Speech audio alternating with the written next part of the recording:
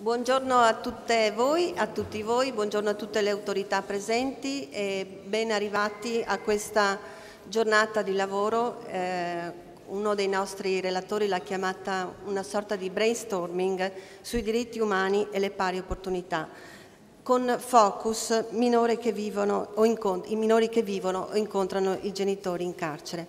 È una giornata importante perché vede insieme e insieme la parola che ci piace per questo evento in rete con il Sor Optimist International d'Italia che abbiamo la nostra Presidente nazionale Leila Picco qui seduta in prima fila che poi ascolteremo negli, inveti, eh, negli interventi di chiusura. Il mio ovviamente saluto anche da parte del Comitato Pari Opportunità del Sor Optimist International e modererò questo incontro insieme all'avvocato Rebecca Rigon che è responsabile nazionale della dell'Unione Nazionale eh, Camere Minorili.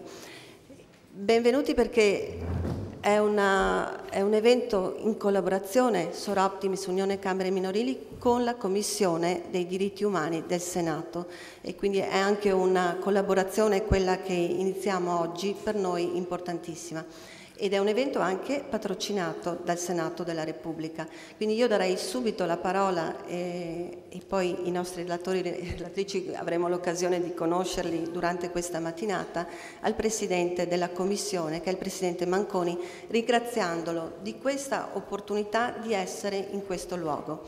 Eh, facciamo aprire i lavori subito a loro perché sappiamo che poi hanno dei lavori in corso al Senato, le votazioni e un grazie perché sappiamo che essere qui oggi non è stato facile per uh, anche problemi di sicurezza.